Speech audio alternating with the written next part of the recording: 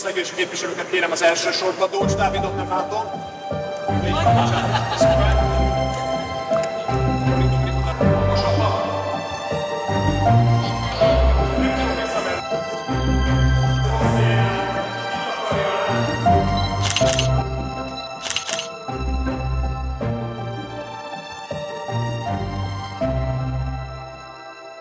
előtt szeretném tolmácsolni az irányotokban és a tagság irányába is a Mi Hazánk Mozgalom országos elnökségének köszönetét azért a munkáért, azért az energiáért, időért, pénzért és azért a hitért, amivel végigcsináltátok a mögöttünk hagyott kampányt is.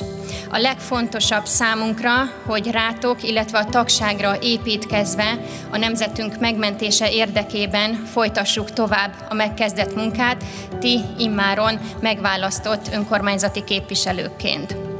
Szeretném felhívni arra a figyelmet, hogy ez a választás a Mi Hazánk mozgalom számára rendkívül nagy sikert eredményezett, ugyanis az önkormányzati mandátumaink számát sikerült meg ötszöröznünk, ez óriási előrelépés az eddigiekhez képest, illetve ha vármegyei listákat tekintjük, akkor elmondhatjuk magunkról, hogy 19 vármegyéből 18-ban a pártok közül a második helyet szereztük meg.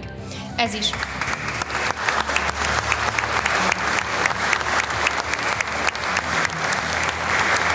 is óriási fegyvertény, ahogy az is, hogy a százalékos támogatottságunkat a 2022-es országgyűlési választáshoz képest is sikerült növelnünk az európai parlamenti választáson. Köszönet mindezért nektek! Próbáljátok visszaemlékezni, főleg azok, akik ott voltak 2018-ban személyesen Ásodhalmon, hogy hogy indult ez a mozgalom.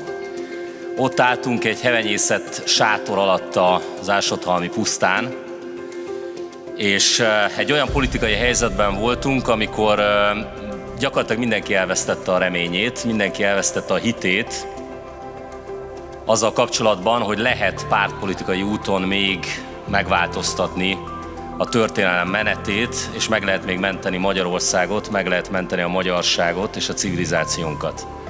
Pontosan tudjátok, hogy annyian voltunk, amennyien voltunk, annyi erőforrásunk volt akkor, amennyi volt, gyakorlatilag semmi, de volt egy maroknyi magyar, aki hitt abban, hogy mégis minden árulás, minden pártpolitikai csalódás ellenére lehet még a történelem menetén változtatni.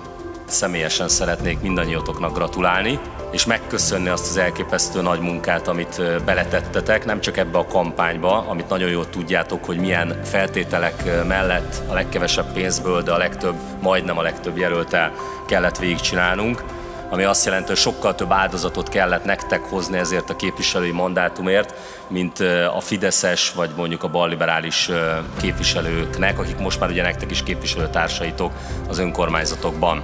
Gyakorlatilag olyan, olyan volt a Mi Hazánk mozgalom elmúlt évekbeli, most már hat éves küzdelme, mint a, amikor ugye csatában ott állunk egy százszoros túlerővel szemben, ők páncélzatban, lóháton, nekünk nincs lovunk, de legalább van egy páncélunk, aztán a páncélt leveszik rólunk, aztán mielőtt elindulnánk a csatába, puszta kézzel még elvágják a, mondjuk az inakat, hogy ne nagyon működjön a lábunk, a kezünk, és mégis mégis a csatában, a harcban tudunk maradni, mégis állva maradunk. Én azt gondolom, hogy ez az elmúlt hat év és ez az eredmény, hogy ha ránéztek most a mostani választások után az ország térképre, akkor azt látjuk, hogy szinte mindenhol második erővé váltunk. Ez most a politikai tény. Ugye ez miért nagyon fontos? Ez azért nagyon fontos, mert ez azt jelenti, hogy a legfőbb üzeneteink eljutottak a magyarokhoz. Annak ellenére, hogy páncél nélkül, ló nélkül, eszközök nélkül veszünk részt egy olyan csatában, ahol száz, ezerszeres túlerővel szemben kell harcolnunk. Ez azt jelenti, hogy a vidéki magyarok ma már tudják, hogy mi vagyunk a vidék utolsó reménye, már pedig a vidék a nemzet megtartó ereje, és ezek szerint megértették a vidéki magyarok, hogy mi vagyunk az ő pártjuk mi egyáltalán nem valamilyen alsóbrendű szerepet akarunk játszani a magyar politikában. Tehát sem az önkormányzatokban, sem az országgyűlésben nekünk nem az a feladatunk, mi nem ezért kezdtünk politizálni. 2018-ban nem ezért bontottunk zászlót, hanem azért, hogy, ahogy mondtam, megváltoztassuk a történelem menetét. Megkezdtük ezeket az egyeztetéseket a szövetségesekkel. Olyan helyzetbe kerülhettem én oda, hogy nagyon-nagyon komolyan veszik a mi hazánk mozgalmat ezek az európai és nem kicsi pártok. Ezekre a szuverenitást védő antiglobalista európai pártokra lehet számítani. Tehát a mi hazánknak olyan komoly évek óta épített kapcsolatrendszere van, hogy semmiképpen nem fogunk egyedül küzdeni. Lesznek ott bajtársaink, akik segíteni fognak, nagyon komoly küzdelmet fogunk folytatni, és azt gondolom, hogy nagyon jó esélyeink vannak eredményes küzdelmet folytatni, és hát egy nagyon eredményes elkövetkező öt évet kívánok mindannyiunknak, és a magam részéről minden erőmmel azon fogok küzdeni, hogy a 26-os választásokon a mi hazánk még erősebben tudjon nem csak európai szinten, hanem nagyon jelentősen itt Magyarországon is a nemzeti magyar erőket, ennek hangot adni, képviselni. Úgyhogy köszönöm szépen!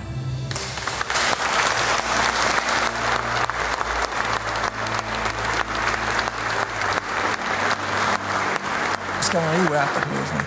Tehát ez a csapat, ez a Mi Hazánk mozgalom derékhada. Nagyon nehéz feladat előtt állunk, és azt gondolom, hogy ez ma már elhangzott, de ezt vegyük nagyon komolyan. A Mi Hazánk mozgalom most már politikai szinten ott van az ország teljes területén. Lefettük. Minden vármegyében van képviselője a Mi Hazánk mozgalomnak.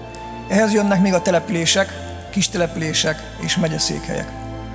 Gyakorlatilag sokkal-sokkal több emberhez juthatunk el, mint ahogy eddig a mi hazánk mozgalom.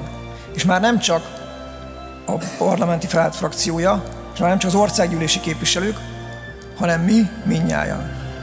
Nekünk jutott az a feladat, hogy a parlamenti frakció meghosszabbított kezei legyünk, akik tovább érnek a településekig, és összekötjük az embereket a parlamenti frakcióval.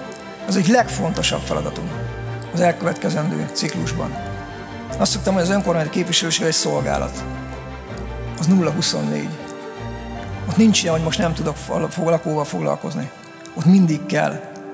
Minden telefont fel kell venni, minden megkeresésre válaszolni kell, mindenki az el kell menni, aki segítséget kér. Hiszen én azt gondolom, hogyha közülünk bárki is rosszul végzi a munkáját, az nem hiba, az bűn. Nekünk a Jóisten megadta a lehetőséget. És azt gondolom, hogy nekünk ezzel a lehetőséggel élni kell. Én ehhez kívánok nektek nagyon jó egészséget, hitet, kitartást. Köszönöm szépen, hogy.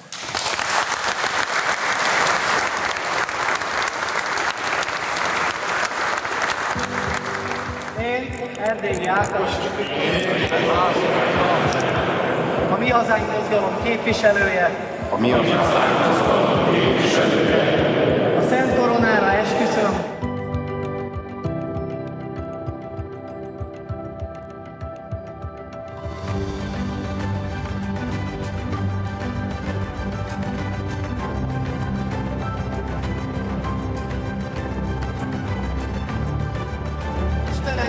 segítek!